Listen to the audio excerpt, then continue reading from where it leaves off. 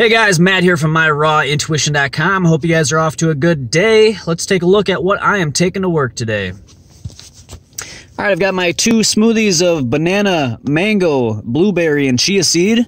I've got a juice with some carrot, orange, ginger. Got some distilled water, some satsuma oranges, two opal apples, a Pyrex of medjool dates, and the Pyrex of dehydrated veggie crackers. All right, so hope you guys have a great Thursday, and I will catch you in the next video. Always follow your raw intuition.